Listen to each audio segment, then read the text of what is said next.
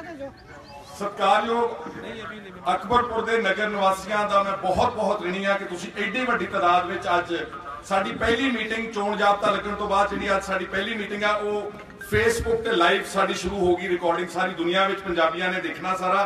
ਤੋਂ ਇੱਕ ਵਾਰ ਤੁਹਾਡਾ ਸਾਰਿਆਂ ਦਾ ਮੈਂ ਬਹੁਤ ਧੰਨਵਾਦ ਕਰਦਾ, ਇੱਕ ਵਾਰ ਜ਼ੋਰਦਾਰ ਤਾੜੀਆਂ ਆਪਣੇ ਆਪ ਵਾਸਤੇ ਤੇ ਸਾਡੀ ਭੈਣ ਬੀਬੀ ਸਰਜੀਤ ਕੌਰ ਜਿਹੜੇ ਸਰਪੰਚ ਰਹੇ ਨੇ ਪਿੰਡ ਦੇ, ਜਿਹੜੇ ਕਿ ਬਹੁਤ ਅੱਛਾ ਸਾਡਾ ਬਹੁਤ ਇੱਕ ਪੁਰਾਣਾ ਸਤਿਕਾਰਯੋਗ ਪਰਿਵਾਰ, ਇਸ ਇਲਾਕੇ ਦਾ ਵੱਡਾ ਪਰਿਵਾਰ ਹੈ। ਉਹਨਾਂ ਦੇ ਗ੍ਰਹਿ ਤੇ ਤੁਸੀਂ ਸਾਰਿਆਂ ਨੇ ਆ ਕੇ ਸ਼ਿਰਕਤ ਕੀਤੀ ਆ। ਮੇਰੀਆਂ ਸਤਿਕਾਰਯੋਗ ਬੀਬੀਆਂ, ਭੈਣਾਂ, ਨੌਜਵਾਨ, ਬੱਚੇ, ਬਜ਼ੁਰਗ, ਨੰਬਰਦਾਰ, ਮੈਂਬਰ ਪੰਚਾਇਤ ਔਰ ਸਾਰੇ ਭਾਈਚਾਰਿਆਂ ਦੇ ਲੋਕ ਜਿਹੜੇ ਅੱਜ ਤੁਸੀਂ ਸ਼ਿਰਕਤ ਕਰ ਰਹੇ ਹੋ, ਮੈਂ ਤੁਹਾਡਾ ਦੇਣ ਨਹੀਂ ਦੇ ਸਕਦਾ। ਔਰ ਇਸ ਲਈ ਤੁਹਾਨੂੰ ਵਧਾਈ ਦਿੱਤੀ ਹੈ ਕਿਉਂਕਿ ਕੱਲ ਚੋਣ ਜਾਬਤਾ ਲੱਗਿਆ ਔਰ ਪਹਿਲੀ ਮੀਟਿੰਗ ਆਪਣੀ ਅੱਜ ਇੱਥੇ ਅਕਬਰਪੁਰ 'ਚ ਹੋਈ ਆ ਤੇ ਗੁਰੂ ਸਾਹਿਬ ਦੀ ਕਿਰਪਾ ਨਾਲ ਇਹ ਐਡੀ ਵੱਡੀ ਕਾਮਯਾਬ, ਇੱਕੋ ਹੀ ਪੋਲਿੰਗ ਸਟੇਸ਼ਨ ਹੈ ਅਕਬਰਪੁਰ ਦਾ, ਔਰ ਐਡੀ ਵੱਡੀ ਕਾਮਯਾਬ ਮੀਟਿੰਗ ਕਰਕੇ ਤੁਸੀਂ ਇਹ ਦੱਸ ਦਿੱਤਾ ਕਿ 2017 ਦੇ ਵਿੱਚ ਪੰਜਾਬ ਦੇ ਵਿੱਚ ਆਮ ਆਦਮੀ ਪਾਰਟੀ ਦੀ ਸਰਕਾਰ ਵੀ ਬਣੇਗੀ ਤੇ ਭਲੱਥ ਵਿੱਚ ਵੀ ਆਪਾਂ ਵੱਡੀ ਲੀਡ ਦੇ ਨਾਲ ਚੋਣ ਇਹ ਜਿਹੜੀ ਚੋਣ ਹੈ, ਇੱਥੇ ਆਮ ਆਦਮੀ ਪਾਰਟੀ ਚੋਣ ਜਿੱਤੇਗੀ। ਮੇਰੇ ਤੋਂ ਪਹਿਲਾਂ ਬਹੁਤ ਸਾਰੇ ਬੁਲਾਰਿਆਂ ਨੇ ਆਪਣੀਆਂ ਗੱਲਾਂ ਕਹੀਆਂ, ਲੇਕਿਨ ਸਰਦਾਰ ਹਰਵੇਲ ਸਿੰਘ ਹੋਣਾ ਨੇ ਬਹੁਤ ਸਾਦੇ ਸ਼ਬਦਾਂ ਦੇ ਵਿੱਚ ਜੋ ਆਪਣੇ ਇਲਾਕੇ ਦਾ ਵਾਤਾਵਰਨ ਹੈ, ਪੰਜਾਬ ਦੀ ਗੱਲ ਮੈਂ ਬਾਅਦ ਵਿੱਚ ਕਰਦਾ ਸੰਖੇਪ ਤੌਰ ਤੇ, ਲੇਕਿਨ ਆਪਣੇ ਇਲਾਕੇ ਵਿੱਚ ਵਾਤਾਵਰਨ ਕੀ ਰਿਹਾ ਵਾ, ਜਿਨ੍ਹਾਂ ਲੋਕਾਂ ਨੂੰ ਆਪਾਂ ਭਰੋਸਾ ਕਰਕੇ ਤਿੰਨ ਵਾਰ ਇੱਥੇ ਐਮਐਲਏ ਬਣਾਇਆ, ਪਿਛਲੇ 10 ਸਾਲ ਤੋਂ ਅਕਾਲੀ ਦਲ ਦੀ ਸਰਕਾਰ ਹੋਵੇ, ਔਰ ਤੁਸੀਂ ਲੋਕ ਉਹਨਾਂ ਦੇ ਮੁਦਈ ਹੁੰਦੇ ਹੋਵੋ, ਤੇ ਤੁਹਾਡੇ ਤੇ ਅਤਿਆਚਾਰ ਕਰੇ ਪੁਲਿਸ ਪੁਲਿਸ ਆਪਣੇ ਲੋਕਾਂ ਕੋਲੋਂ ਇਹਨਾਂ ਦੇ ਸ਼ਹਿ ਤੇ ਆਪਣੇ ਲੋਕਾਂ ਕੋਲੋਂ ਪੈਸੇ ਮੰਗੇ ਜਾਣ ਕਿਸੇ ਇਹਨਾਂ ਨੇ ਦੱਸਿਆ ਕਿ 50000 ਰੁਪਇਆ ਮੈਨੂੰ ਇੱਕ ਰਿਸ਼ਵਤ ਦੇਣੀ ਪਈ 40000 ਰੁਪਇਆ ਮੈਨੂੰ ਇੱਕ ਰਿਸ਼ਵਤ ਦੇਣੀ ਪਈ। ਔਰ ਇਹ ਤਾਂ ਚਲੋ ਜਿਹੜੀ ਉਹਨਾਂ ਨੇ ਗੱਲ ਕਹੀ ਕਹੀ, ਲੇਕਿਨ ਸਭ ਤੋਂ ਮੈਂ ਸਮਝਦਾ ਅਫਸੋਸਨਾਕ ਜਿਹੜੀ ਗੱਲ ਹੋਈ ਤੁਹਾਡੇ ਪਿੰਡ ਵਿੱਚ ਪਿਛਲੇ ਸਮੇਂ 'ਚ ਕਿ ਸਰਦਾਰ ਜਸਪਾਲ ਸਿੰਘ ਦੀ ਇੱਕ ਬੇਟੀ ਉਸ ਨੂੰ ਉਹਦੇ ਸਹੁਰੇ ਪਰਿਵਾਰ ਨੇ ਜ਼ਹਿਰ ਦੇ ਕੇ ਮਾਰ ਦਿੱਤਾ। ਗੱਲ ਜਗ ਜ਼ਾਹਰ ਹੋ ਗਈ। ਲੇਕਿਨ ਇਸ ਘਿਨੌਣੀ ਘਟਨਾ ਦੇ ਬਾਵਜੂਦ ਪੁਲਿਸ ਉਹਨਾਂ ਨੂੰ ਫੜਨ ਨੂੰ ਤਿਆਰ ਨਹੀਂ ਸੀ। ਔਰ ਇਸ ਤੋਂ ਵੀ ਜਿਹੜੀ ਗੱਲ ਮਾੜੀ ਕੀਤੀ ਗਈ ਆ ਕਿ ਜਸਪਾਲ ਸਿੰਘ ਕੋਲੋਂ ਇੱਥੋਂ ਦੇ ਆਗੂਆਂ ਨੇ 50000 ਰੁਪਇਆ ਉਹਦੀ ਇੱਕ ਲੜਕੀ ਦੀ ਮੌਤ ਹੋਈ ਹੋਈ ਆ ਲੇਕਿਨ 50000 ਰੁਪਇਆ ਉਹਦੇ ਕੋਲ ਰਿਸ਼ਵਤ ਮੰਗੀ ਗਈ। ਆਗੂ ਲੈ ਰਹੇ ਨੇ ਜਿਹੜੇ ਲੋਕ ਅੱਜ ਇਲੈਕਸ਼ਨ ਲੜ ਰਹੇ ਨੇ। ਤੇ ਉਹ 50000 ਰੁਪਇਆ ਉਹਦੇ ਕੋਲ ਰਿਸ਼ਵਤ ਵੀ ਦੇ ਗਏ। ਇਹਦੇ ਮੈਂ ਸਮਝਦਾ ਕਿ ਮਾੜੀ ਗੱਲ ਨਹੀਂ ਹੋ ਸਕਦੀ। ਇਹ ਕੀ ਦਰਸਾਉਂਦੀ ਆ? ਇਹ ਉਹਨਾਂ ਦੀ ਮਾਨਸਿਕਤਾ ਦਰਸਾਉਂਦੀ ਆ। ਇਹ ਉਹਨਾਂ, ਇਹ ਇਹ ਲੋਕਾਂ ਬਾਰੇ ਕੀ ਸੋਚਦੇ ਨੇ ਅੱਜ ਦੇ ਅਖੌਤੀ ਅਕਾਲੀ ਆਗੂ? ਲੋਕਾਂ ਕੋਲ ਵੋਟਾਂ ਲੈਂਦੇ ਰਹੇ ਨੇ। ਉਹਨਾਂ ਦੇ ਕੋਲੋਂ, ਉਹਨਾਂ ਦੇ, ਤੁਹਾਡੇ ਕਰਕੇ ਭਰਾਓ ਤੇ ਭੈਣੋ ਜਿਹੜੇ ਰੁਤਬੇ ਮਿਲੇ ਇਹਨਾਂ ਨੂੰ, ਜਿਹੜੀਆਂ ਗੱਡੀਆਂ, ਮੋਟਰਾਂ ਮਿਲੀਆਂ, ਜਿਹੜੀਆਂ ਇਹਨਾਂ ਨੂੰ, ਜੋ ਇਹਨਾਂ ਦੇ ਸਰਕਾਰ ਦੇ ਵਿੱਚ ਇਹਨਾਂ ਦਾ ਮਾਣ-ਤਾਣ ਹੋਇਆ, ਤੁਹਾਡੀ ਬਦੌਲਤ ਹੋਇਆ। ਲੇਕਿਨ ਜਦੋਂ ਤੁਹਾਨੂੰ ਲੋੜ ਪੈਂਦੀ ਆ, ਤੇ ਤੁਹਾਡੇ ਨਾਲ ਵਤੀਰਾ ਕੀ ਆ? ਕਿਸੇ ਦੀ ਲੜਕੀ ਮਰ ਗਈ, ਉਹਦੀ ਪਰਵਾਹ ਕੋਈ ਨਹੀਂ ਗੀ ਕਿਸੇ ਦੇ ਪਰਚਾ ਝੂਠਾ ਕਰਾਤਾ, ਕਿਸੇ ਨੂੰ ਤੁੰਨ ਕੇ ਅੰਦਰ ਕਰਾਤਾ। ਪੁਲਿਸ ਦਾ ਮਿਸਯੂਜ਼ ਹੋਇਆ ਭਲੱਤ ਦੇ ਵਿੱਚ ਬਹੁਤ ਬੁਰੀ ਤਰ੍ਹਾਂ ਨਾਲ। ਇਹ ਸਾਰੇ ਪੁਲਿਸ ਦੇ ਜਿਹੜੇ ਥਾਣੇਦਾਰ, ਜੋ ਅਮਲਾ, ਇਹ ਸਾਰੇ ਭਰਾਓ, ਇਹਨਾਂ ਦੇ ਹੱਥ ਠੋਕਿਆ ਵਾਂਗੂ ਕੰਮ ਕੀਤਾ। ਔਰ ਪੁਲਿਸ ਤੇ ਤਹਿਸੀਲਦਾਰ ਤੇ ਅਫਸਰਾਂ ਕੋਲੋਂ ਇੱਥੋਂ ਦੇ ਆਪਣੇ ਜਿਹੜੇ ਅਕਾਲੀ ਆਗੂ ਨੇ, ਉਹ ਮਹੀਨਾ ਲੈਂਦੇ ਨੇ, ਪੈਸੇ ਲੈਂਦੇ ਨੇ ਔਰ ਇਸ ਕਰਕੇ ਲੋਕਾਂ ਤੇ ਅਤਿਆਚਾਰ ਹੁੰਦਾ। ਜੇ ਕੱਲ ਨੂੰ ਮੈਂ ਐਮਐਲਏ ਬਣ ਗਿਆ ਤੇ ਮੈਂ ਹੀ ਅਫਸਰਾਂ ਕੋਲੋਂ ਪੈਸੇ ਲਵਾਂਗਾ ਉਹਨਾਂ ਕੋਲੋਂ ਪੈਸੇ ਮੰਗੂਗਾ ਮਹੀਨਾ ਤੇ ਉਹ ਪੈਸੇ ਕੋਲੋਂ ਤਾਂ ਨਹੀਂ ਦੇਣਗੇ ਕੋਈ, ਉਹ ਤੁਹਾਡੇ ਲੋਕਾਂ ਕੋਲੋਂ ਪੈਸੇ ਪੂਰੇ ਕਰਨਗੇ। ਇਸ ਕਰਕੇ ਪੰਜਾਬ ਵਿੱਚ ਜਿਹੜਾ ਰਿਸ਼ਵਤਖੋਰੀ ਵਧੀ ਆ, ਇਹ ਸਿਆਸੀ ਆਗੂਆਂ ਨੇ, ਅਕਾਲੀਆਂ ਨੇ, ਜਥੇਦਾਰਾਂ ਨੇ ਐਮਐਲਏਆਂ ਨੇ, ਮੰਤਰੀਆਂ ਨੇ ਅਫਸਰਸ਼ਾਹੀ ਦੇ ਨਾਲ ਰਲ ਕੇ ਪੰਜਾਬ ਨੂੰ ਪਿਛਲੇ 10 ਸਾਲਾਂ ਵਿੱਚ ਲੁੱਟਿਆ। ਮੈਂ ਗੱਲ ਮਾਨਸਿਕਤਾ ਦੀ ਕਰ ਰਿਹਾ ਸੀਗਾ। ਮੈਂ ਤੁਹਾਨੂੰ ਦੱਸਣਾ ਚਾਹੁੰਦਾ ਵਾਂ ਕਿ ਇਹ ਜਿਹੜੀ ਇਹਨਾਂ ਦੀ ਮਾਨਸਿਕਤਾ ਹੈ, ਉਹ ਮੈਂ ਤੁਹਾਨੂੰ ਇੱਕ ਇੱਕ ਹੋਰ ਇੱਕ ਵੀਡੀਓ ਕਲਿੱਪ ਸੁਣਾਉਣਾ ਚਾਹੁੰਦਾ। ਆਪਣੇ ਇਲਾਕੇ 'ਚ ਇੱਕ ਰਿਕਸ਼ਾ ਚਾਲਕ ਮਰ ਗਿਆ ਸੀਗਾ। ਅੱਜ ਤੋਂ 1.5 ਸਾਲ ਪਹਿਲਾਂ ਉਹਦਾ ਨਾਮ ਸੀਗਾ ਸੋਮਨਾਥ ਢਿਲਵਾਂ ਦਾ ਰਹਿਣ ਵਾਲਾ ਸੀ। ਇਸ ਕਰਕੇ ਉਸਨੇ ਆਪਣੇ ਆਪ ਨੂੰ ਅੱਗ ਲਾ ਕੇ ਸਾੜ ਦਿੱਤਾ ਬੈਂਕ ਦੇ ਮੂਹਰੇ ਜਾ ਕੇ। ਇਹ ਔਰ ਇਹ ਜਿਹੜੀ ਗੱਲ ਹੈ, ਇਹ ਮੈਂ ਦਰੁਸਤ ਅਸਲੀਅਤ ਕਿਉਂਕਿ ਪਿੰਡ ਦਾ ਗੁਰਦੁਆਰਾ ਸਾਹਿਬ ਹੈ, ਆਪਣੇ ਸਾਹਮਣੇ ਨਜ਼ਰ ਆ ਰਿਹਾ ਮੈਨੂੰ। ਇਹ ਸਾਰਾ ਜਿਹੜਾ ਸੱਚ ਬਿਆਨ ਕਰਨ ਲੱਗਿਆ, ਹੋ ਸਕਦਾ ਤੁਹਾਡੇ ਚੋਂ ਕਈਆਂ ਨੇ ਇਹ ਵੀਡੀਓ ਕਲਿੱਪ ਸੁਣਿਆ ਹੋਵੇ, ਹੋ ਸਕਦਾ ਕਈਆਂ ਨੇ ਇਹ ਵੀਡੀਓ ਕਲਿੱਪ ਨਾ ਸੁਣਿਆ ਹੋਵੇ। ਲੇਕਿਨ ਜਿਨ੍ਹਾਂ ਨੇ ਨਹੀਂ ਸੁਣਿਆ, ਉਹਨਾਂ ਦੇ ਉਹਨਾਂ ਦੇ ਵਾਸਤੇ ਮੈਂ ਇਸ ਵੀਡੀਓ ਦਾ ਕਲਿੱਪ ਜੋ ਉਹ ਜਦੋਂ ਰਿਕਸ਼ਾ ਚਾਲਕ ਮਰਿਆ 250 ਰੁਪਿਆ ਪੈਨਸ਼ਨ ਮੰਗਦਾ ਸੀ 1 ਮਹੀਨੇ ਨਹੀਂ ਮਿਲੀ 2 3 4 5 ਮਹੀਨੇ ਨਹੀਂ ਮਿਲੀ। ਉਸਨੇ ਹਾਰ ਕੇ ਆਪਣੇ ਆਪ ਨੂੰ ਅੱਗ ਲਾ ਕੇ ਜਿਹੜਾ ਸੀਗਾ, ਉਹ ਸਾੜ ਲਿਆ। ਔਰ ਉਸਨੇ ਜਦੋਂ ਉਹਨੇ ਆਤਮ ਹੱਤਿਆ ਕੀਤੀ, ਉਹਦੀ ਆਤਮ ਹੱਤਿਆ ਸਾਰੇ ਮੀਡੀਆ ਦੇ ਵਿੱਚ ਬਹੁਤ ਜਗਜ਼ਾਰ ਹੋਈ, ਬਹੁਤ ਸਾਰੇ ਟੀਵੀਆਂ ਨੇ, ਬਹੁਤ ਸਾਰੀਆਂ ਅਖਬਾਰਾਂ ਨੇ ਉਸ ਨੂੰ ਹਾਈਲਾਈਟ ਕੀਤਾ ਔਰ ਉਸ ਆਤਮ ਹੱਤਿਆ ਤੋਂ ਬਾਅਦ ਜਦੋਂ ਆਪਾਂ ਕੋਈ ਆਪਣਾ ਦੁਸ਼ਮਣ ਵੀ ਮਰਦਾ ਹੈ ਨਾ, ਤੇ ਆਪਾਂ ਉਸ ਦੀ ਮੌਤ ਦਾ ਅਫਸੋਸ ਕਰਦੇ ਹਾਂ। ਖੁਸ਼ੀ ਨਹੀਂ ਮਨਾ ਸਕਦੇ, ਕਿਸੇ ਦੀ ਮਾੜੀ ਤੋਂ ਮਾੜੇ ਭਾਵੇਂ ਆਪਣਾ ਕਿੱਡਾ ਹੀ ਵਿਰੋਧੀ ਹੋਵੇ, ਆਪਾਂ ਉਸ ਦੀ ਮੌਤ ਦਾ ਸਟਾਰਟ ਕਰਨਾ। ਉਸ ਦੀ ਮੌਤ ਦਾ ਆਪਾਂ ਅਫਸੋਸ ਕਰਦੇ ਆ। ਲੇਕਿਨ ਬੀਬੀ ਕੀ ਕਹਿੰਦੀ ਹੈ ਲੋਕੀ ਕਹਿੰਦੇ ਜੀ ਉਹ ਮਰ ਗਿਆ ਗੱਲ ਕਰੀ ਫਿਰ ਤਾਂ ਦੁਬਾਰੇ ਤੇ ਚੰਗਾ ਹੋ ਗਿਆ 250 ਰੁਪਏ ਉਹਨੂੰ ਮਿਲਦਾ ਸੀ 50 ਨਹੀਂ ਸੌ ਲੱਖ ਰੁਪਏ ਅਗਰ ਮਿਲ ਗਿਆ 30 ਸਾਲ ਦੇ ਦਿੱਤਾ ਤੇ ਮੈਂ ਕਿਹੜੀ ਗੱਲ ਨਹੀਂ ਕਰਦਾ ਚੰਗਾ ਤਾਂ ਕੋਈ ਹੋਰ ਵੀ ਚੀਜ਼ ਮਰ ਸੀ ਇਹ ਤਾਂ ਮੈਂ ਕਿਹੜੀ ਲੋਕਾਂ ਨੇ ਕਿਹਾ ਕਰਨਾ ਸੀਗਾ ਤੁਸੀਂ ਉਹਦਾ ਹੀ ਕਰੇ ਤਾਂ ਪੈਸੇ ਚੱਲ ਜਾਂਦੇ ਇਹ ਐਮਐਲਏ ਨੇ ਆਪਣੇ। ਜਿਹੜੇ ਇੱਕ ਗਰੀਬ ਆਦਮੀ ਦੀ ਮੌਤ ਦਾ ਮਜ਼ਾਕ ਉਡਾਉਂਦੇ ਨੇ ਕਿ ਚੰਗਾ ਹੋ ਗਿਆ, ਉਹਨੂੰ 250 ਰੁਪਇਆ ਮਿਲਦਾ ਸੀਗਾ। ਹੁਣ ਡੀਸੀ ਨੇ ਲੱਖ ਰੁਪਇਆ ਦਿੱਤਾ। ਇਹ ਡੀਸੀ ਕਪੂਰਥਲਾ ਨੇ ਲੱਖ ਵੀ ਨਹੀਂ ਦਿੱਤਾ, ਇਹ ਵੀ ਝੂਠ ਬੋਲਦੇ ਆ। ਲੱਖ ਵੀ ਨਹੀਂ ਦਿੱਤਾ। ਉਹ ਅੱਜ ਤੱਕ ਮੇਰੇ ਸੰਪਰਕ ਵਿੱਚ ਨੇ। ਔਰ ਉਹਨਾਂ ਨੇ ਬਾਅਦ ਕਹਿੰਦੇ ਨੇ ਕਿ ਇਹ ਤਾਂ ਚੰਗਾ ਹੋ ਗਿਆ। ਲੋਕਾਂ ਨੇ ਕਿਹਾ ਕਰਨਾ ਕਿ 250 ਰੁਪਇਆ ਨਹੀਂ ਮਿਲਦਾ, ਲੱਖ ਰੁਪਇਆ ਮਿਲਿਆ ਕਰਨਾ ਤੇ ਆਤਮ ਹੱਤਿਆ ਕਰਿਆ ਕਰਨੀ ਹੈ ਦੱਸੋ ਜਿਹੜਾ ਆਪਾਂ ਨੂੰ ਇਹ ਕੀੜੇ ਮਕੌੜੇ ਸਮਝਦੇ ਨੇ ਲੋਕਾਂ ਨੂੰ, ਇਸੇ ਲਈ ਇਹਨਾਂ ਦੇ ਨਾਲ ਜੋ ਵਤੀਰਾ ਹੋਇਆ, ਇਸੇ ਲਈ ਜੋ ਜਸਪਾਲ ਸਿੰਘ ਦੇ ਪਰਿਵਾਰ ਨਾਲ ਵਤੀਰਾ ਹੋਇਆ ਇਹ ਇਹਨਾਂ ਦੀ ਮਾਨਸਿਕਤਾ ਬੋਲਦੀ ਇੱਕ ਵਾਰ ਫਿਰ ਮੈਂ ਤੁਹਾਨੂੰ ਸੁਣਾਉਣਾ ਚਾਹੁੰਦਾ ਹਾਂ ਇਸ ਦਾ ਇਸ ਇਸੇ ਤੱਕ ਇੱਕ ਵਾਰ ਦੁਬਾਰਾ ਸੁਣੋ इसका स्पीकर कहाँ है वॉल्यूम ऊंची करना ਸਰਕਾਰ ਕੀ ਕਰੇ ਸਰਕਾਰ ਨੂੰ ਲੋਕੀ ਕਹਿੰਦੇ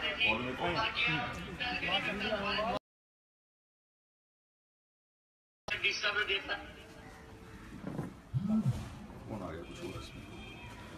ਚਲੋ ਖੈਰ, ਮੈਂ ਇਸ ਨੂੰ ਛੱਡ ਦਿੰਦਾ, ਇਹ ਆਕਸ ਤੇ ਵੀ ਸੁਣਾ ਸਕਦੇ, ਪਿੱਛੇ ਨਾ ਅਗਰ ਹੋ ਸਕਦਾ ਵਾ। ਤੇ ਮੈਂ ਹੁੰਦੇ ਆ, ਮਤਲਬ ਕੋਈ ਅੱਛਾ ਵੱਡਾ ਮੈਡੀਕਲ ਕਾਲਜ ਕੋਈ ਅੱਛਾ ਇੰਜੀਨੀਅਰਿੰਗ ਕਾਲਜ ਕੋਈ ਇਲਾਕੇ ਦੇ ਵਾਸਤੇ ਵੱਡੀ ਇੰਡਸਟਰੀ ਕੋਈ ਸ਼ੂਗਰ ਮਿਲ ਜਿਹਦੇ ਵਿੱਚ 5-7 ਹਜ਼ਾਰ ਆਦਮੀ ਨੂੰ ਮੁਲਾਜ਼ਮਤ ਮਿਲ ਸਕੇ ਭਰਾਓ। ਲੇਕਿਨ 15 ਸਾਲ ਵਿੱਚ ਕੋਈ ਪ੍ਰਾਪਤੀ ਨਹੀਂ 10 ਸਾਲ ਦੀ ਅਕਾਲੀ ਦਲ ਦੀ ਸਰਕਾਰ ਵਿੱਚ ਕੋਈ ਪ੍ਰਾਪਤੀ ਨਹੀਂ। ਗਲੀਆਂ ਨਾਲੀਆਂ ਤਾਂ ਪਿੰਡਾਂ ਦੇ ਪੰਚ ਸਰਪੰਚ ਵੀ ਬਣਾ ਸਕਦੇ ਨੇ ਵੀਡੀਓ ਵੀ ਬਣਾ ਸਕਦਾ, ਪੰਚਾਇਤ ਸੈਕਟਰੀ ਵੀ ਬਣਾ ਸਕਦਾ। ਇਹ ਵਿਕਾਸ ਨਹੀਂਗਾ ਭਰਾਓ।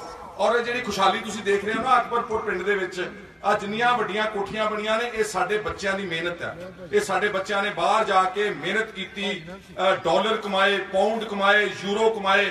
ਉਹਨਾਂ ਦੀ ਇਹ ਸਾਰੀ ਚੜ੍ਹਤ ਹੈ ਸਾਡੇ ਇਲਾਕੇ ਵਿੱਚ ਦੁਆਬੇ ਦੇ ਵਿੱਚ ਜਾਂ ਭਲੱਤ ਦੇ ਵਿੱਚ ਜਿਹੜੀ ਖੁਸ਼ਹਾਲੀ ਹੈ ਇਹਦੇ ਵਿੱਚ ਸਰਕਾਰ ਦਾ ਇੱਕ ਨਵਾਂ ਪੈਸਾ ਨਹੀਂਗਾ ਸਰਕਾਰ ਨੇ ਪਿਛਲੇ 10 ਸਾਲਾਂ ਵਿੱਚ ਖਾਸ ਤੌਰ ਤੇ ਸਰਕਾਰ ਨੇ ਪੰਜਾਬ ਦੇ ਵਿੱਚ ਲੁੱਟ ਖਸੁੱਟ ਕੀਤੀ ਆ ਮਾਫੀਆ ਦਾ ਰਾਜ ਰਿਹਾ ਵਾ ਭਰਾਓ। ਅੱਜ ਹਰ ਪਾਸੇ ਨਿਗਾਹ ਮਾਰੋ ਤੁਸੀਂ। ਅੱਜ ਰੇਤਾ ਬਜਰੀ ਦਾ ਮਾਫੀਆ ਹੈ। ਅੱਜ ਲੈਂਡ ਦਾ ਮਾਫੀਆ ਹੈ। ਅੱਜ ਸ਼ਰਾਬ ਦਾ ਮਾਫੀਆ ਹੈ। ਅੱਜ ਹਰ ਗੱਲ ਵਿੱਚ ਅਫਸਰਸ਼ਾਹੀ ਨੇ ਔਰ ਸਿਆਸੀ ਲੋਕਾਂ ਨੇ ਤੇ ਗੁੰਡਿਆਂ ਨੇ ਰਲ ਕੇ ਪੰਜਾਬ ਨੂੰ ਦੋਨਾਂ ਹੱਥਾਂ ਵਿੱਚ ਲੁੱਟਿਆ। ਤੁਹਾਡਾ ਪਿੰਡ ਦਰਿਆ ਦੇ ਕੰਢੇ ਤੇ ਆ। ਪੰਜਾਬ ਦੇ ਦਰਿਆਵਾਂ ਚੋਂ ਪਿਛਲੇ 10 ਸਾਲਾਂ ਤੋਂ ਹਜ਼ਾਰਾਂ ਕਰੋੜਾਂ ਰੁਪਏ ਦੀ ਰੇਤਾ ਬਜਰੀ ਲੁੱਟੀ ਗਈ ਹੈ ਭਰਾਓ। ਆਪਾਂ ਆਪਣੀ ਜ਼ਮੀਨ ਚੋਂ ਵੀ ਇੱਕ ਟਰਾਲੀ ਨਹੀਂ ਕੱਢ ਸਕਦੇ। ਲੇਕਿਨ ਇਹ ਬਦਮਾਸ਼ ਰਾਤ ਨੂੰ ਜਾ ਕੇ ਵੱਡੀਆਂ ਵੱਡੀਆਂ ਜੀਸੀਬੀ ਮਸ਼ੀਨਾਂ ਲਾ ਕੇ, ਟਰੈਕਟਰ ਟਰਾਲੀਆਂ ਲਾ ਕੇ ਇਹਨਾਂ ਲੋਕਾਂ ਨੇ ਸਾਡੇ ਪੰਜਾਬ ਨੂੰ ਲੁੱਟਿਆ। ਅੱਜ ਪੰਜਾਬ ਜਿਹੜਾ ਇੱਕ ਨੰਬਰ ਸਟੇਟ ਸੀ ਇੰਡੀਆ ਦਾ, ਅੱਜ ਪੰਜਾਬ ਸਭ ਤੋਂ ਥੱਲੜੇ ਸੂਬੇ ਦੇ ਦੇ ਵਿੱਚ ਗਿਣਤੀ ਆ ਰਹੀ ਹੈ ਤੁਸੀਂ ਇੰਨੇ ਭੈਣ ਭਰਾ ਬੈਠੇ ਹੋ, ਕੋਈ ਕਹਿ ਸਕਦਾ ਵਾ ਕਿ ਇਸ ਅਕਬਰਪੁਰ ਪਿੰਡ ਵਿੱਚੋਂ ਪਿਛਲੇ 10 ਸਾਲਾਂ ਚੋਂ ਕਿਸੇ ਇੱਕ ਨੂੰ ਵੀ ਸਰਕਾਰੀ ਨੌਕਰੀ ਮਿਲੀ ਹੋਵੇ? ਕੋਈ ਇੱਕ ਸਰਕਾਰੀ ਨੌਕਰੀ ਮਿਲੀ, ਦੱਸੋ ਮੈਨੂੰ ਤੁਸੀਂ ਤੁਹਾਡੇ ਪਿੰਡ ਵਿੱਚੋਂ ਕਿਸੇ ਨੂੰ। ਕੋਈ ਨੌਕਰੀ ਨਹੀਂ ਹੈ ਭਰਾਓ। ਔਰ ਅੱਜ ਪੰਜਾਬ ਦੇ ਵਿੱਚ ਬੇਰੋਜ਼ਗਾਰੀ ਆ। ਤੁਸੀਂ ਅੰਦਾਜ਼ਾ ਨਹੀਂ ਲਾ ਸਕਦੇ, ਮੈਂ ਗੱਲ ਕਹਿ ਰਿਹਾ ਸੀ ਨਾ ਕਿ ਬਾਹਰਲੇ ਬੱਚਿਆਂ ਨੇ ਬਚਾ ਲਿਆ ਸਾਨੂੰ। ਹੁਣ ਉਹਨਾਂ ਲੋਕਾਂ ਨੂੰ ਪੁੱਛ ਕੇ ਦੇਖੋ ਜਿਨ੍ਹਾਂ ਦੇ ਬੱਚੇ ਬਾਹਰ ਨਹੀਂ ਜਾ ਸਕੇ, ਜਿਨ੍ਹਾਂ ਦੇ ਕੋਲ ਜ਼ਮੀਨ ਨਹੀਂ ਜਿਨ੍ਹਾਂ ਦੀ ਜ਼ਮੀਨ ਘੱਟ ਆ। ਉਹ ਮੈਂ ਤੁਹਾਨੂੰ ਲੈ ਕੇ ਚੱਲਦਾ, ਮਾਲਵੇ ਦੇ ਸੰਗਰੂਰ, ਬਠਿੰਡਾ, ਮਾਨਸਾ ਜ਼ਿਲ੍ਹਿਆਂ ਦੇ ਵਿੱਚ ਲੋਕਾਂ ਦੇ ਚਿਹਰੇ ਲੱਥੇ ਪਏ ਨੇ, ਮਾਯੂਸੀ ਛਾਈ ਹੋਈ ਆ। ਆਤਮ ਹੱਤਿਆ ਕਰ ਰਹੇ ਨੇ ਕਿਸਾਨ। ਬੱਚੇ ਉਹਨਾਂ ਦੇ ਨਸ਼ੇੜੀ ਹੋ ਗਏ ਨੇ ਭਰਾਓ। ਜਦ ਸਾਡੇ ਬੱਚਿਆਂ ਨੂੰ ਕੋਈ ਰੋਜ਼ਗਾਰ ਨਹੀਂ ਮਿਲਣਾ ਜਦ ਸਾਡੇ ਬੱਚਿਆਂ ਨੂੰ ਖੇਤੀ ਜਿਹਨਾਂ ਕੋਲ ਕੱਲੀ ਜ਼ਮੀਨ ਹੈ ਜੋ ਕਿ 70% ਪਿੰਡ ਪੰਜਾਬ ਖੇਤੀ ਦੇ ਉੱਤੇ ਨਿਰਭਰ ਸੀਗਾ। ਜਦ ਸਾਨੂੰ ਆਮਦਨ ਹੀ ਕੋਈ ਬਚੀ ਜ਼ਮੀਨ ਚੋਂ ਖੇਤੀ ਸਾਡੀ ਫੇਲ ਹੋ ਰਹੀ ਆ ਜ਼ਮੀਨਾਂ ਸਾਡੇ ਕੋਲ ਘਟ ਗਈਆਂ ਨੇ। ਨਹੀਂ ਮਿਲਣੀ ਤੇ ਜੇ ਪੰਜਾਬ ਦੇ ਬੱਚੇ ਸਾਡੇ ਨਸ਼ੇ ਨਹੀਂ ਕਰਨਗੇ ਤੇ ਕੀ ਕਰਨਗੇ? ਇਹਨਾਂ ਲੋਕਾਂ ਨੇ ਲਾਏ ਨੇ ਨਸ਼ੇ ਕਰਨ ਦੇ ਉੱਤੇ ਭਰਾਓ ਔਰ ਤੁਹਾਨੂੰ ਯਾਦ ਆ ਸਾਰਿਆਂ ਨੂੰ ਜਦੋਂ ਸ਼੍ਰੋਮਣੀ ਗੁਰਦੁਆਰਾ ਪ੍ਰਬੰਧਕ ਕਮੇਟੀ ਸਾਡੇ ਗੁਰਦੁਆਰਿਆਂ ਦੀ ਇਲੈਕਸ਼ਨ ਹੁੰਦੀ ਹੈ ਇਹ ਅਕਾਲੀ ਗੁਰਦੁਆਰਿਆਂ ਦੀਆਂ ਚੋਣਾਂ ਵਿੱਚ ਜਾ ਕੇ ਨਸ਼ੇ ਵੰਡਦੇ ਨੇ, ਸ਼ਰਾਬਾਂ ਵੰਡਦੇ ਨੇ, ਲੋਕਾਂ ਨੂੰ ਹਰ ਕਿਸਮ ਦਾ ਨਸ਼ਾ ਦਿੰਦੇ ਨੇ। ਜਿਹੜਾ, ਜਿਹੜੀ ਪਾਰਟੀ ਧਰਮ ਦੀ ਚੋਣ ਨਹੀਂ ਛੱਡਦੀ, ਉੱਥੇ ਨਸ਼ਾ ਵੰਡਦੀ ਆ। ਤੇ ਉਹ ਕਹਿੰਦੀ ਆ ਕਿ ਅੱਜ ਪੰਜਾਬ ਦੇ ਵਿੱਚ ਨਸ਼ਾ ਨਹੀਂਗਾ ਜੇ ਪੰਜਾਬ 'ਚ ਨਸ਼ਾ ਨਹੀਂਗਾ ਤੇ ਫਿਰ ਸਾਰੇ ਪਿੰਡਾਂ ਦੇ ਵਿੱਚ ਬਲੋਕਾਂ ਵਿੱਚ ਨਸ਼ਾ ਛਡਾਓ ਕੇਂਦਰ ਕਿਉਂ ਖੋਲੇ ਨੇ? ਜੇ ਪੰਜਾਬ ਵਿੱਚ ਨਸ਼ਾ ਨਹੀਂਗਾ ਤੇ ਪੱਚੀਤਾ ਵਾ। ਜੇ ਕਹਿੰਦੇ ਪੰਜਾਬ ਵਿੱਚ ਨਸ਼ਾ ਨਹੀਂਗਾ ਤੇ ਔਰਤਾਂ ਦਾ ਨਸ਼ਾ ਛਡਾਊ ਕੇਂਦਰ ਅੰਮ੍ਰਿਤਸਰ ਵਿੱਚ ਖੋਲਣਾ ਪਿਆ ਸਰਕਾਰ ਨੂੰ, ਇੱਕ ਪਾਸੇ ਕਹਿੰਦੇ ਨਸ਼ਾ ਨਹੀਂ ਹੈ ਪੰਜਾਬ ਦੇ ਵਿੱਚ। ਇੱਥੇ ਬਸ ਨਹੀਂ, ਜਿਹੜਾ ਸਭ ਤੋਂ ਵੱਡਾ ਮੁਕੱਦਮਾ ਦਰਜ ਹੋਇਆ ਨਸ਼ਿਆਂ ਦਾ 6000 ਕਰੋੜ ਰੁਪਏ ਦਾ ਨਸ਼ੇ ਦਾ ਤਸਕਰ ਕੌਣ ਹੈ ਜਿਹੜਾ ਜਗਦੀਸ਼ ਭੋਲਾ ਪੰਜਾਬ ਪੁਲਿਸ ਦਾ ਇੱਕ ਡਿਸਮਿਸਡ ਅਫਸਰ ਹੈ। ਇੱਕ ਪਾਸੇ ਕਹਿੰਦੇ ਪੰਜਾਬ ਨਸ਼ਾ ਕੋਈ ਨਹੀਂ ਕਰਦਾ। ਇੱਕ ਪਾਸੇ ਆਪ ਹੀ ਅਕਾਲੀ ਦਲ ਦੀ ਸਰਕਾਰ ਜਗਦੀਸ਼ ਭੋਲੇ ਤੇ 6000 ਕਰੋੜ ਰੁਪਏ ਦੇ ਨਸ਼ਿਆਂ ਦਾ ਮੁਕੱਦਮਾ ਦਰਜ ਕਰਦੀ ਹੈ ਭਰਾਓ। ਭੈਣੋ ਤੇ ਭਰਾਓ 13000 ਪਿੰਡ ਆ ਪੰਜਾਬ ਦੇ ਵਿੱਚ। ਜੇ ਇਹ 6000 ਕਰੋੜ ਰੁਪਇਆ ਕਿਸੇ ਅਰਥ ਲੱਗਿਆ ਹੁੰਦਾ, ਤਾਂ ਹਰ ਪਿੰਡ ਨੂੰ ਇੱਕ ਸਾਲ ਵਿੱਚ 50 ਲੱਖ ਰੁਪਇਆ ਵਿਕਾਸ ਵਾਸਤੇ ਪਹੁੰਚ ਸਕਦਾ ਸੀ। ਲੇਕਿਨ ਇਹਨਾਂ ਨੇ, ਕਿਉਂਕਿ ਵਪਾਰ ਬਣਾਇਆ ਵਾ, ਇਹਨਾਂ ਨੂੰ ਇਹਦੇ ਚੋਂ ਆਮਦਨ ਆ। ਇਹ ਇਹਨਾਂ ਨੇ ਨਸ਼ਿਆਂ ਨੂੰ ਵਪਾਰ ਬਣਾਇਆ, ਇਹਨਾਂ ਨੇ ਰੀਤਾ ਬਜਰੀ ਨੂੰ ਵਪਾਰ ਬਣਾਇਆ, ਇਹਨਾਂ ਨੇ ਥਾਣੇ ਬਥਾਣਿਆਂ ਨੂੰ ਆਪਣੀ ਸਿਆਸੀ ਰੰਗਤ ਦੇ ਕੇ ਨਿੱਜੀ ਫੌਜ ਦੀ ਤਰ੍ਹਾਂ ਵਰਤ ਕੇ ਇਹਨਾਂ ਨੇ ਪੁਲਿਸ ਦੇ ਥਰੂ ਵੀ ਪੈਸੇ ਕਮਾਏ ਨੇ। ਔਰ ਬੇਰੋਜ਼ਗਾਰੀ ਪੰਜਾਬ ਦੇ ਵਿੱਚ ਪੈਦਾ ਕੀਤੀ। ਇਸ ਲਈ ਮੈਂ ਤੁਹਾਨੂੰ ਸਭ ਨੂੰ ਇਹ ਕਹਿਣ ਆਇਆ ਹਾਂ ਕਿ ਅੱਜ 21ਵੀਂ ਸਦੀ ਦਾ ਯੁੱਗ ਹੈ। ਅੱਜ ਅੱਜ ਚੋਣਾਂ ਨਾ ਜ਼ਾਤ ਦੀਆਂ ਨੇ, ਨਾ ਪਾਤ ਦੀਆਂ ਨੇ, ਨਾ ਧਰਮ ਦੀਆਂ ਨੇ। ਅੱਜ ਸਾਡੇ ਭਵਿੱਖ ਦਾ ਸਵਾਲ ਹੈ, ਸਾਡੇ ਬੱਚਿਆਂ ਦੇ ਭਵਿੱਖ ਦਾ ਸਵਾਲ ਹੈ। ਜੇ ਅੱਜ ਆਪਾਂ ਫੈਸਲੇ ਗਲਤ ਕਰਾਂਗੇ ਔਰ ਮੁੜ ਮੁੜ ਇਹਨਾਂ ਲੋਕਾਂ ਨੂੰ ਅੱਜ ਰਾਜ ਭਾਗ ਦੇਾਂਗੇ ਚਾਹੇ ਉਹ ਪੰਥ ਦੇ ਦੇ ਨਾਰਿਆਂ ਤੇ, ਚਾਹੇ ਉਹ ਜ਼ਾਤ ਪਾਤ ਦੇ ਨਾਰਿਆਂ ਤੇ, ਇਹ ਆਪਣੇ ਨਾਲ ਅੱਗੇ ਤੋਂ, ਅੱਗੇ ਤਾਂ ਸ਼ਾਇਦ ਕੋਈ ਘੱਟ ਬਦਮਾਸ਼ੀ ਕੀਤੀ ਹੋਵੇ ਇਹਨਾਂ ਲੋਕਾਂ ਨੇ। ਆਉਣ ਵਾਲੇ ਸਮੇਂ ਦੇ ਵਿੱਚ ਤੁਹਾਡੀ ਹੋਰ ਜ਼ਿਆਦਾ ਲੁੱਟ ਖਸੁੱਟ ਕਰਨਗੇ, ਲੁੱਟਣਗੇ ਵੀ ਤੇ ਕੁੱਟਣਗੇ ਵੀ। ਇਸ ਲਈ ਇਹਨਾਂ ਤੋਂ ਬਚਣ ਦੀ ਲੋੜ ਆ। ਅੱਜ ਪੰਜਾਬ ਦੇ ਵਿੱਚ ਭ੍ਰਿਸ਼ਟਾਚਾਰ ਹੈ ਚਾਰੋਂ ਪਾਸੇ। ਅੱਜ ਜਿੰਨੇ ਤੁਸੀਂ ਸਤਿਕਾਰਯੋਗ ਭੈਣ ਭਰਾ ਬੈਠੇ ਆ, ਕਿਸੇ ਦਫ਼ਤਰ 'ਚ ਕੁੰਡਾ ਖੜਕਾ ਕੇ ਦੇਖ ਲਓ। ਤਹਿਸੀਲੇ ਚਲ ਜਾਓ, ਥਾਣੇ ਚਲ ਜਾਓ, ਬਿਜਲੀ ਘਰ ਚਲ ਜਾਓ, ਹਰ ਥਾਂ ਦੇ ਉੱਤੇ ਜਦ ਤੱਕ ਤੁਸੀਂ ਉੱਥੇ ਪੈਸੇ ਨਹੀਂ ਭਰਦੇ ਰਿਸ਼ਵਤਖੋਰੀ ਨਹੀਂ ਦਿੰਦੇ, ਕਿਸੇ ਦਾ ਕੋਈ ਕੰਮ ਕਰਨ ਨੂੰ ਤਿਆਰ ਨਹੀਂਗਾ ਇਸ ਲਈ ਇਹ ਜਿਹੜੀ ਪਾਰਟੀ ਸਾਡੀ ਉੱਠੀ ਆ ਇੰਡੀਆ ਦੇ ਵਿੱਚ ਆਮ ਆਦਮੀ ਪਾਰਟੀ, ਇਹਦੀ ਵਿਲੱਖਣਤਾ ਹੀ ਇਹ ਹੈ। ਇਹਦਾ ਜਿਹੜਾ ਪ੍ਰਧਾਨ ਆ, ਅਰਵਿੰਦ ਕੇਜਰੀਵਾਲ, ਉਹਦੀ ਵਿਲੱਖਣਤਾ ਇਹ ਆ ਕਿ ਉਹ ਇਕੱਲਾ ਇੱਕ ਆਦਮੀ ਆ, ਦੇਸ਼ ਵਿੱਚ ਜਿਹੜਾ ਭ੍ਰਿਸ਼ਟਾਚਾਰ ਦੇ ਖਿਲਾਫ ਲੜਾਈ ਲੜ ਰਿਹਾ ਉਹਦੀ ਉਹਦੀ ਸਰਕਾਰ ਬਣੀ ਦਿੱਲੀ ਵਿੱਚ 17 ਤੋਂ 67 ਸੀਟਾਂ ਜਿੱਤੀਆਂ ਆਮ ਆਦਮੀ ਪਾਰਟੀ ਨੇ ਦਿੱਲੀ 'ਚ। ਉਸ ਤੇ ਇੱਕ ਮੰਤਰੀ ਨੇ, ਅਸੀਮ ਅਹਿਮਦ, ਉਹਦਾ ਮੰਤਰੀ ਸੀ, ਮਕਾਨ ਉਸਾਰੀ ਮੰਤਰੀ। ਉਹਦੇ ਮੰਤਰੀ ਕੋਲੋਂ ਇੱਕ ਕੋਲੋਂ 6 ਲੱਖ ਰੁਪਇਆ ਰਿਸ਼ਵਤ ਮੰਗ ਲਈ। 6 ਲੱਖ ਰੁਪਇਆ ਰਿਸ਼ਵਤ। ਉਸ ਨੇ ਜਦੋਂ ਔਰ ਉਹ ਰਿਸ਼ਵਤ ਦਿੱਤੀ ਨਹੀਂ ਗਈ, ਕਿਸੇ ਠੇਕੇਦਾਰ ਨੇ ਟੈਲੀਫੋਨ ਕੀਤਾ, ਟੈਲੀਫੋਨ ਤੇ ਰਿਕਾਰਡਿੰਗ ਕਰ ਲਈ। ਉਹ ਜਦੋਂ ਰਿਕਾਰਡਿੰਗ ਅਰਵਿੰਦ ਕੇਜਰੀਵਾਲ ਨੇ ਆਪ ਸੁਣੀ, ਉਸਨੇ ਕਿਹਾ ਕਿ ਇਹ ਸਾਡੀ ਪਾਰਟੀ ਦੇ ਅਸੂਲਾਂ ਦੇ ਉਲਟ ਕੰਮ ਕਰ ਰਿਹਾ ਮੇਰਾ ਮੰਤਰੀ, ਮੇਰੀ ਸਰਕਾਰ ਦੇ ਵਿੱਚ ਬੈਠ ਕੇ। ਭੈਣੋ ਤੇ ਭਰਾਓ, ਉਹਨੇ ਅੱਧੇ ਘੰਟੇ ਵਿੱਚ ਉਸ ਮੰਤਰੀ ਨੂੰ ਆਪਣੀ ਪਾਰਟੀ ਚੋਂ ਵੀ ਕੱਢਤਾ ਉਸ ਨੂੰ ਆਪਣੇ ਮੰਤਰੀ ਪਦ ਪੁਣੇ ਚੋਂ ਵੀ ਕੱਢਤਾ ਤੇ ਉਹਦਾ ਕੇਸ ਜਿਹੜਾ ਸੀਗਾ ਉਹ ਸੀਬੀਆਈ ਨੂੰ ਉਹਦੀ ਜਾਂਚ ਦਿੱਤੀ। ਅੱਜ ਕੋਈ ਹੈ ਦੇਸ਼ ਵਿੱਚ ਇਦਾਂ ਦਾ ਮੁੱਖ ਮੰਤਰੀ, ਪ੍ਰਧਾਨ ਮੰਤਰੀ ਜਿਹੜਾ ਰਿਸ਼ਵਤਖੋਰੀ ਦੇ ਖਿਲਾਫ ਆਪਣੀ ਪਾਰਟੀ ਦੇ ਬਸ਼ਿੰਦਿਆਂ ਦੇ ਖਿਲਾਫ ਐਕਸ਼ਨ ਲਵੇ। ਆ ਪੰਜਾਬ ਦੇ ਵਿੱਚ ਸਾਰੇ ਪਾਸੇ ਲੁੱਟ ਰਹੇ ਨੇ ਮੰਤਰੀ। ਕੀ ਤੋਤਾ ਸਿੰਘ ਦਵਾਈਆਂ ਵਿੱਚ ਜਿਹੜੀ ਕੀੜੇ ਮਾਰ ਦਵਾਈਆਂ ਦੇ ਵਿੱਚ ਰਿਸ਼ਵਤਖੋਰੀ ਦਲਾਲੀ ਕੀਤੀ, ਕਿਸੇ ਨੇ ਨਹੀਂ ਉਹਨੂੰ ਰੋਕਿਆ। ਸਿਕੰਦਰ ਸਿੰਘ ਮਲੂਕਾ ਨੇ ਕਾਪੀਆਂ ਕਿਤਾਬਾਂ 'ਚ ਦਲਾਲੀ ਕੀਤੀ, ਕਿਸੇ ਨੇ ਨਹੀਂ ਰੋਕਿਆ। Ranike Gulzar Singh border area ਦਾ ਫੰਡ ਖਾ ਗਿਆ, ਕਿਸੇ ਨੇ ਨਹੀਂ ਰੋਕਿਆ। ਬਿਕਰਮ ਮਜੀਠੀਆ ਤੇ ਨਸ਼ਿਆਂ ਦਾ ਇਲਜ਼ਾਮ ਲੱਗ ਰਿਹਾ, ਹਜ਼ਾਰਾਂ ਕਰੋੜਾਂ ਰੁਪਏ ਦੀ ਰਿਸ਼ਵਤ ਦਾ ਕਿਸੇ ਨੇ ਉਸ ਨੂੰ ਪੁੱਛਗਿੱਛ ਨਹੀਂ ਕੀਤੀ। ਇਸ ਲਈ ਵਾਹ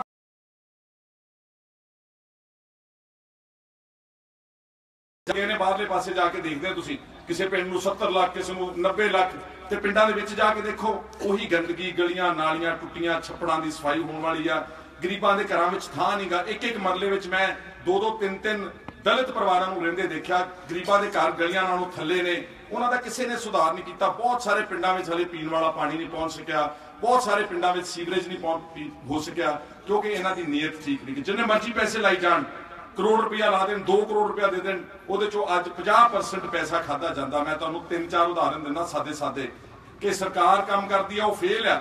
ਉਹੀ ਕੰਮ ਪ੍ਰਾਈਵੇਟ ਕੰਮ ਕਰਦੇ ਆ ਤੇ ਉਹ ਪਾਸ ਆ। ਸਰਕਾਰੀ ਬੱਸਾਂ ਪਿੰਡਾਂ ਦੇ ਵਿੱਚ ਅੱਜ ਫੇਲ ਨੇ, ਟੁੱਟ ਗਈਆਂ ਬੱਸਾਂ ਪੀਆਰਟੀਸੀ ਰੋਡਵੇਜ਼ ਦੀਆਂ।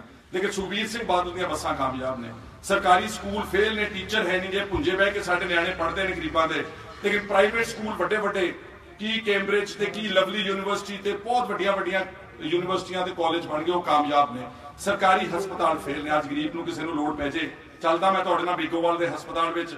ਕੀ ਉੱਥੇ ਤੁਹਾਡਾ ਕਿਸੇ ਦਾ ਕੋਈ ਸੰਗੀਨ ਬਿਮਾਰੀ ਦਾ ਇਲਾਜ ਹੋ ਸਕਦਾ? ਕਿਸੇ ਨੂੰ ਦਿਲ ਦਾ ਦੌਰਾ ਪੈ ਜੇ, ਕਿਸੇ ਨੂੰ ਕੈਂਸਰ ਹੋ ਜੇ, ਕਿਸੇ ਦੇ ਗੁਰਦੇ ਖਰਾਬ ਹੋ ਜਾਣ, ਕਿਸੇ ਨੂੰ ਕਾਲਾ ਪੀਲੀਆ ਹੋ ਜੇ, ਕੋਈ ਸਰਕਾਰੀ ਹਸਪਤਾਲ ਤੁਹਾਡਾ ਇਲਾਜ ਕਰਨ ਨੂੰ ਤਿਆਰ ਹੈ? ਕੀ ਸਾਰੇ ਗਰੀਬ ਜਲੰਧਰ ਦੇ ਮਹਿੰਗੇ ਮਹਿੰਗੇ ਹਸਪਤਾਲਾਂ 'ਚ ਲੱਖਾਂ ਰੁਪਏ ਦੇ ਕੇ ਆਪਣਾ ਇਲਾਜ ਕਰਾ ਸਕਦੇ? ਕਿਹਨਾਂ ਦੀਆਂ ਜ਼ਿੰਮੇਵਾਰੀਆਂ ਸੀਗੀਆਂ? ਇਹ ਸਾਰੀਆਂ ਸਰਕਾਰ ਦੀਆਂ ਜ਼ਿੰਮੇਵਾਰੀਆਂ ਸੀਗੀਆਂ, ਜਿਹਦੇ 'ਚੋਂ ਬਹੁਤ ਬੁਰੀ ਤਰ੍ਹਾਂ ਨਾਲ ਫੇਲ ਹੋਏ ਨੇ।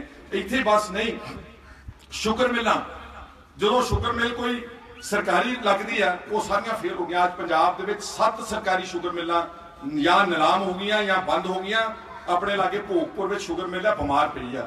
ਲੇਕਿਨ ਉਹੀ ਪ੍ਰਾਈਵੇਟ ਸ਼ੂਗਰ ਮਿੱਲਾਂ ਤਾਕਤਵਰ ਪੋਲੀਟੀਕਲ ਬੰਦੇ ਲਾਉਂਦੇ ਨੇ। ਰਾਣਾ ਗੁਰਜੀਤ ਸਿੰਘ ਦੀ ਮਿਲ ਆ ਸੈਂਕੜੇ ਕਰੋੜਾਂ ਕਾਮਯਾਬ ਮੁਨਾਫਾ ਕਮਾ ਰਹੀ ਆ। ਆ ਆਪਣੇ ਲਾਗੇ ਕੀੜੀ ਅਫਗਾਨਾ ਪਿੰਡ ਹੈ ਗੁਰਦਾਸਪੁਰ ਦੇ ਵਿੱਚ। ਪੌਂਟੀ ਚੱਡੇ ਨੇ ਲਾਈ ਆ, ਸੈਂਕੜੇ ਕਰੋੜਾਂ ਮੁਨਾਫੇ ਦੇ ਵਿੱਚ ਆ। ਆ ਪਰੇ ਡੀਪੀ ਯਾਦਵ ਯੂਪੀ ਦਾ ਇੱਕ ਬਹੁਤ ਵੱਡਾ ਸਿਆਸਤਦਾਨ ਆ, ਮੁਕੇਰੀਆਂ ਮਿਲ ਹੈ ਉਹਦੇ ਕੋਲ ਕਾਮਯਾਬ ਆ। ਓਸਵਾਲਾਂ ਦੀ ਮਿਲ ਲੁਧਿਆਣੇ ਵਿੱਚ, ਧੂਰੀ ਵਿੱਚ ਆ, ਕਾਮਯਾਬ ਆ। ਜਰਨੈਲ ਸਿੰਘ ਵਾਹਦ ਅਕਾਲੀਆਂ ਦਾ ਉਮੀਦਵਾਰ ਆ, ਇੱਥੋਂ ਦਾ ਨਵਾਂ ਸ਼ਹਿਰ ਵਿੱਚ, ਉਹਦੀ ਮਿਲ ਫਗਵਾੜੇ ਵਿੱਚ ਆ, ਉਹ ਕਾਮਯਾਬ ਆ। ਉਹੀ ਗੰਨਾ, ਉਹੀ ਗੰਨੇ ਦਾ ਰੇਟ, ਉਹੀ ਮਸ਼ੀਨਾਂ, ਉਹੀ ਪੀੜਨਾ, ਉਹੀ ਰਸ, ਲੇਕਿਨ ਸਰਕਾਰੀ ਕੰਮ ਫੇਲ ਤੇ ਪ੍ਰਾਈਵੇਟ ਲੋਕਾਂ ਦੇ ਕੰਮ ਕਾਮਯਾਬ ਇਥੋਂ ਸਮਝਣ ਦੀ ਕੋਸ਼ਿਸ਼ ਕਰੋ ਕਿ ਸਰਕਾਰ ਵਿੱਚ ਬੈਠੇ ਬੰਦੇ, ਸਰਕਾਰ ਵਿੱਚ ਬੈਠੇ ਮੰਤਰੀ, ਸਰਕਾਰ ਵਿੱਚ ਬੈਠੇ ਮੁੱਖ ਮੰਤਰੀ ਤੇ ਅਫਸਰ ਤੇ ਡੀਸੀ ਤੇ ਐਸਐਸਪੀ ਇਹ ਸਾਰੇ ਬੇਈਮਾਨੀ ਤੋਂ ਉਤਰੇ ਹੋਏ ਨੇ। ਇਹਨਾਂ ਲੋਕਾਂ ਦੀਆਂ ਤਨਖਾਹਾਂ ਇੱਕ ਇੱਕ ਡੀਸੀ ਐਸਐਸਪੀ ਸਰਕਾਰ ਨੂੰ 25 25 ਲੱਖ ਰੁਪਏ ਨੂੰ ਮਹੀਨਾ ਪੈਂਦਾ ਵਾ। ਗੱਡੀਆਂ, ਮੋਟਰਾਂ, ਘਰ, ਨੌਕਰ, ਚਾਕਰ, ਤਨਖਾਹਾਂ, ਫਿਰ ਵੀ ਇਹਨਾਂ ਨੂੰ ਹੈਗਾ ਕਿ ਕਿਸੇ ਤਰੀਕੇ ਨਾਲ ਉੱਤੋਂ ਪੈਸੇ ਬਣਾਏ ਜਾਣ। ਸੋ ਇਹ ਸਾਰਾ ਵਾ- ਵਾਤਾਵਰਨ ਆਪਾਂ ਲੋਕਾਂ ਨੇ ਬਦਲਣਾ। ਜੇ ਆਪਾਂ ਨਹੀਂ ਬਦਲਾਂਗੇ, ਤੇ ਫਿਰ ਆਪਣੇ ਨਿਆਣੇ ਜਿਹੜੇ ਨੇ, ਉਹ ਹਨੇਰੇ ਵਿੱਚ ਧੱਕ ਰਹੇ ਆ ਆਪਾਂ, ਉਹਨਾਂ ਨੂੰ ਨਸ਼ਿਆਂ ਵਿੱਚ ਧੱਕ ਰਹੇ ਆ ਉਹਨਾਂ ਨੂੰ ਬੇਰੋਜ਼ਗਾਰੀ ਵਿੱਚ ਧੱਕ ਰਹੇ ਆ ਉਹਨਾਂ ਨੂੰ ਅਰਾਜਕਤਾ 'ਚ ਧੱਕ ਰਹੇ ਆ ਅੱਜ ਪੰਜਾਬ ਦੇ ਵਿੱਚ ਵਾਤਾਵਰਨ ਦੇਖ ਲਓ ਆ ਪਿੱਛੇ ਬਠਿੰਡੇ ਵਿੱਚ ਇੱਕ ਲੜਕੀ ਆਪਣੀ ਕਮਾਈ ਕਰਦੀ ਸੀਗੀ ਆਰਕੈਸਟਰੇ ਵਿੱਚ ਸ਼ਾਦੀਆਂ ਵਿੱਚ ਨੱਚ ਕੇ। ਤੁਸੀਂ ਸਾਰਿਆਂ ਨੇ ਦੇਖਿਆ ਕਿਸ ਤਰ੍ਹਾਂ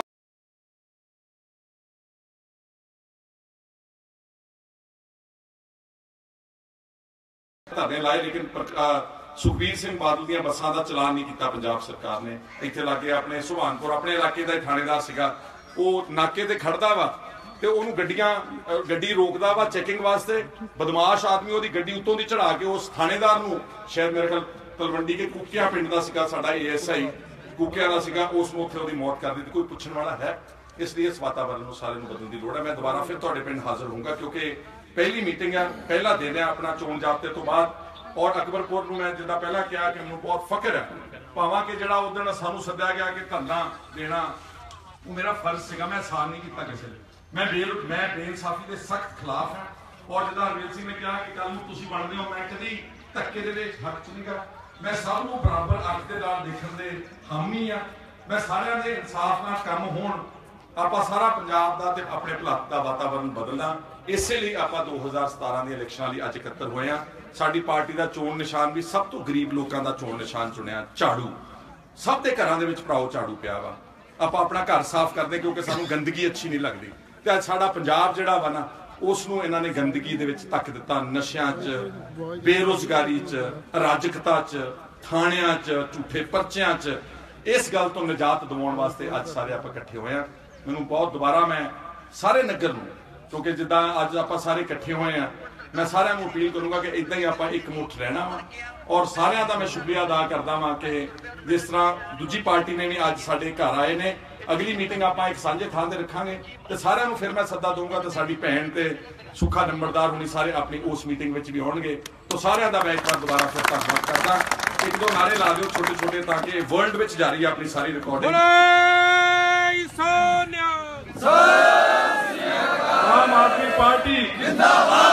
ਆਮ ਆਦਮੀ ਪਾਰਟੀ ਜਿੰਦਾਬਾਦ। ਆਮ ਆਦਮੀ ਪਾਰਟੀ ਜਿੰਦਾਬਾਦ। ਅਰਵਿੰਦ ਕੇਜਰੀਵਾਲ ਜਿੰਦਾਬਾਦ। ਤਖਤ ਬਦਲ ਦਿਓ ਤਾਜ ਬਦਲ ਦਿਓ। ਬੇਈਮਾਨਾਂ ਦਾ ਰਾਜ ਬਦਲ ਦਿਓ ਤਖਤ ਬਦਲ ਦਿਓ ਤਾਜ ਬਦਲ ਦਿਓ। ਬੇਈਮਾਨਾਂ ਦਾ ਰਾਜ ਬਦਲ ਦਿਓ। ਬਹੁਤ ਬਹੁਤ ਸ਼ੁਕਰੀਆ ਸਭ ਦਾ